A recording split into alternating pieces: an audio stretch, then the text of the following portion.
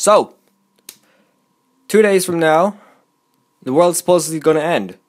At the beginning of the year, January, I didn't believe it. Now, I still don't believe it.